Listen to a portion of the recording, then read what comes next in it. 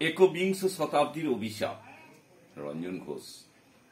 সারা বিশ্ব সর্বজাতি ভয়ে সশঙ্কিত তবু এগিয়ে চলে একবিংশ শতাব্দীর ভয়াবহ করোনা পুহায়ে পানঘাতি ছোঁয়াচে দানব সর্বজাতি ভয় খায়। একশো তিরিশ কোটি মানুষের ভ্যাকসিন গেল গেল উল্টে সরকার। গরিবের ছেলে ইংলিশে এমএ এখন বর্তমানে ডেলিভারি বয়। নেই মাস্ক, দিদি নিষেধ, দুয়ারে সরকার। শিক্ষার মান রসাতলে গেল। চারটি ক্লাসে দুটি মাস্টার।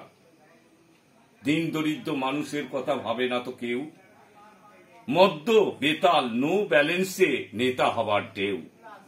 নেতাজি ইন্দিরা গান্ধী, শ্যামাপদ মুখার্জি, দেশের জন্য সংগ্রাম পান করে বলিদান।